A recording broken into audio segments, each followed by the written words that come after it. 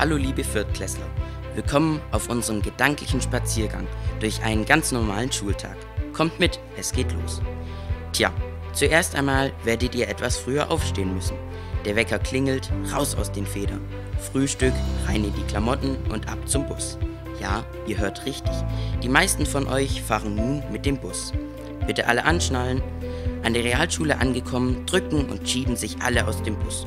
Und es ist ein großes Gewusel vor und in, in dem Schulgebäude. Natürlich wird auch hier nicht gerannt. Ihr kennt's ja. Am Anfang wird das Gebäude noch unbekannt, verwirrend und vielleicht noch etwas angsteinflößend sein. Aber glaubt mir, da mussten wir alle durch. Und schon nach ein paar Tagen lauft ihr, wie selbstverständlich, vom Physiksaal, ja, Physiksaal, zum Klassenzimmer. Wenn ihr nun also am Klassenzimmer angekommen seid, ihr euren Platz gefunden und die neuesten Geschichten ausgetauscht habt, dann läutet es auch schon. Diejenigen, die aus kleinen Schulen kommen, werden verwundert sein. Hier läutet es zur Pause und der Gong beendet den Unterricht. Und schon geht es los. Von Schuljahr zu Schuljahr lernt ihr Neues und ehe ihr euch verseht, ist die Schulzeit auch schon um. Also, lasst euch auf das Abenteuer Realschule ein. Bis bald. Hey, schön, dass du da bist. Die Realschule Horb ist eine offene Ganztagesschule. Das heißt, dass du an einzelnen Tagen oder von Montag bis Donnerstag betreut wirst. Mittagessen bekommst du zum Beispiel in unserer Mensa. Unterstützung bei den Hausaufgaben bekommst du von unserer Hausaufgabenbetreuung, bei der eine Lehrkraft und Schüler der Klassen 9 und 10 dabei sind. Brauchst du Nachhilfe in Deutsch, Mathe, Englisch? Dann helfen dir unsere ausgebildeten Schülermentoren. Bei uns gibt es noch viele weitere AGs, wie die Bienen AG, in der der schuleigene Honig hergestellt wird, die Trampolin AG, der Funpark oder die Spanisch AG und vieles mehr. Wir freuen uns auf dich. Hello and welcome. Liebe Viertklässler, hier an der Realschule Horb gibt es auch den Billy-Zug. Im Billy-Zug werden die Fächer Geografie und Geschichte ab Klasse 5 und die Fächer Musik und Kunst ab Klasse 6 auf Englisch unterrichtet. In den Fächern, die auf englische Sprache unterrichtet werden, steht der Inhalt immer über der Sprache. Das heißt, solange der Inhalt stimmt, steht die Sprache im Hintergrund und wird nicht bewertet. Die Themen sind die gleichen, nur auf Englisch. Wer ist für den Billy-Zug denn geeignet? Eigentlich jeder. Super wäre, wenn du zwei Sachen mitbringen könntest. Erstens, Spaß an den Sachfächern und zweitens, Freude an der englischen Sprache. Außerdem gibt es mit dem Realschulabschluss in Klasse 10 ein exklusives Bili-Zertifikat, welches euch bescheinigt, dass ihr am bilingualen Unterricht teilgenommen habt. Kommt in den Bili-Zug! Ein Fach, auf das du dich total freuen kannst, ist BNT. BNT steht für B wie Biologie, N wie Naturphänomene und T wie Technik. In diesem Fach werden Pflanzen, Tiere und der Mensch behandelt und viele Fragen zur Natur beantwortet. Und wenn du wie ich Tiere magst, kommst du im BNT-Unterricht voll auf deine Kosten. Du erfährst viel über Haustiere und lernst die verschiedensten Wildtiere kennen. Richtig cool ist es, wenn zum Beispiel beim Thema Hund unser Schulhund Alka mit in den Unterricht kommt. Außerdem machst du jede Menge Experimente und sogar einen Führerschein, nämlich den Brennerführerschein. Hast du gewusst, dass es drei verschiedene Flammenarten beim Gasbrenner gibt? Und wenn du die Prüfung bestehst, darfst du vielleicht auch wie wir zur Klassenweihnachtsfeier Tee mit dem Gasbrenner zubereiten. Später in der sechsten Klasse kannst du dann im Technikraum praktisch arbeiten und Werkstücke aus Holz herstellen. Natürlich muss man im BNT-Unterricht viel lernen, aber wenn man aufpasst, ist es ganz einfach und man bekommt oft gute Noten. Bist du neugierig geworden? Glaub uns, BNT ist ein echt cooles Fach. In der Realschule Horb bereiten wir dich auf das echte Leben vor und helfen dir, deinen Traumberuf zu finden. Im Fach Wirtschaft machen wir dafür Berufs- und Studienorientierung. Dabei arbeiten wir mit zahlreichen bekannten Unternehmen aus der Region zusammen. Das bedeutet zum Beispiel, dass wir gemeinsam zu den Unternehmen fahren und uns diese anschauen. Außerdem darfst du bei Praktika und Workshops selbst anpacken und coole Dinge herstellen. Damit du genau weißt, wie es nach der Realschule weitergehen soll, darfst du einen Fragebogen ausfüllen, der dir am Ende sagt, welcher Beruf perfekt zu dir passt. Um ganz sicher zu gehen, kommen auch Experten vorbei, die sich ganz allein für dich Zeit nehmen, um die richtige Ausbildung oder das richtige Studium zu finden. Studium? Du hast schon richtig gehört.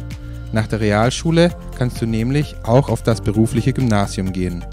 Dort hast du dann drei Jahre Zeit, um dein Abitur zu machen, mit dem du an wirklich allen Universitäten studieren gehen kannst. Weil wir unsere Schülerinnen und Schüler so gut bei der Berufswahl unterstützen, wurden wir sogar mit dem Boris Berufswahlsiegel ausgezeichnet. Liebe Schülerinnen, liebe Schüler, willkommen im Fach IT bei uns an der Realschule Horb. Im IT-Unterricht werdet ihr das Arbeiten mit dem Computer kennenlernen. Damit startet ihr schon in Klasse 5. In IT lernt ihr, wie ihr an einem Computer Texte schreibt, wie ihr eure Dokumente schön geordnet auf dem Computer speichert, so dass es sie in der nächsten Stunde auch wiederfindet. Mit dem Programm PowerPoint lernt ihr, eine kleine Präsentation zu erstellen. So könnt ihr zum Beispiel am PC einen Steckbrief über euer Lieblingstier entwerfen. In den Computerräumen stehen natürlich auch Drucker, so dass ihr die Sachen, die ihr im IT-Unterricht erarbeitet habt, auch direkt ausdrucken könnt. Insgesamt gibt es an unserer Schule drei große Computerräume. Die sind so groß, dass eine ganze Schulklasse hineinpasst und jeder Schüler an seinem eigenen Computer sitzen kann. Und dann gibt es noch einen etwas kleineren Computerraum. Der ist richtig gut versteckt, sozusagen unser Geheimcomputerraum. Wenn ihr mal zu uns kommt, könnt ihr euch ja mal auf die Suche machen, ob ihr diesen Geheimraum findet. Ab Klasse 7 gibt es an der Realschule dann das Fach Informatik. Hier erfahrt ihr, wie ein Computer aufgebaut ist, wie ein Computer arbeitet und wie das Internet überhaupt funktioniert. Bestimmt gefällt es euch, wenn ihr hört, dass ihr in Informatik sogar die Möglichkeit habt, euer eigenes kleines Computerspiel zu programmieren oder ein Roboterauto zu steuern. Wir freuen uns auf euch. Ab der siebten Klasse hast du dann Technik, AES oder Französisch. Du kannst dir also das Fach aussuchen, das dir am meisten Spaß macht. In dem Fach Technik darfst du mit Sägen, Bohrmaschinen, Lötkolben, CAD-Fräsen und Mikrocomputern verschiedenste Werkstücke herstellen. So baust du zum Beispiel in Klasse 7 deinen eigenen Klappstuhl und ein Werkstück aus Kunststoff. Du wirst häufig praktisch arbeiten, aber ab und zu auch dein Wissen aus den Fächern Mathe und Physik anwenden müssen. Das Fach AES IS ist die Kurzform von Alltagskultur, Ernährung und Soziales. Man kann das Fach ab der 7. Klasse wählen. Im Fach IS wird viel in der Küche oder auch mit der Nähmaschine gearbeitet. In der Küche experimentieren wir viel mit Lebensmitteln. Wir lernen, wie man diese richtig schneidet, um sie anschließend in ein leckeres Gericht zu verwandeln. Dadurch lernen wir gleichzeitig, was gesundes Essen ist. Auch das Thema Nachhaltigkeit spielt eine große Rolle für uns. Da viele von uns das erste Mal mit Nähmaschinen in Kontakt kommen, werden alle Sicherheitsmaßnahmen davor besprochen. Außerdem macht das Nähen sehr viel Spaß, da wir jeden Schritt gemeinsam durchgehen, sodass es jeder versteht und seiner Kreativität freien Lauf lassen kann. Zusätzlich wird die Teamarbeit gefördert, sodass jeder seine Schwächen und Stärken erkennt. Salut les élèves! Je m'appelle Madame Müller et je suis prof de français. Ça va? Ja, ihr habt richtig gehört. Auch an der Realschule wird Französisch gesprochen. Ab Klasse 6 habt ihr die Möglichkeit, in zwei zusätzlichen Wochenstunden erste Erfahrungen mit der französischen Sprache zu machen und kleinere Alltagssituationen zu bewältigen. Ihr könnt euch beispielsweise vorstellen oder eure Schulsachen auf Französisch einkaufen. Dann entscheidet ihr euch in Klasse 7 für ein Wahlpflichtfach. Und das könnte auch Französisch sein.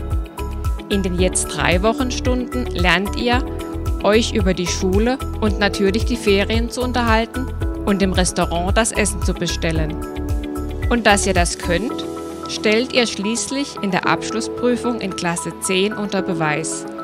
Alors, à bientôt et au revoir.